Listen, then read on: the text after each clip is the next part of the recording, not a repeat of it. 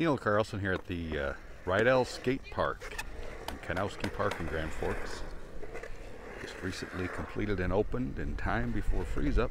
Got a pretty good crowd down here even on a cool Saturday afternoon. Show you a little bit of the action here.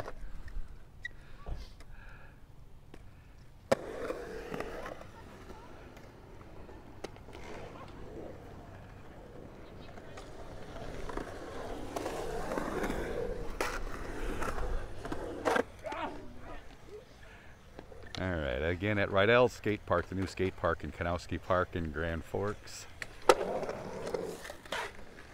It's getting a little workout today. All right, in Grand Forks, I'm Neil Carlson reporting for iNewZ.TV.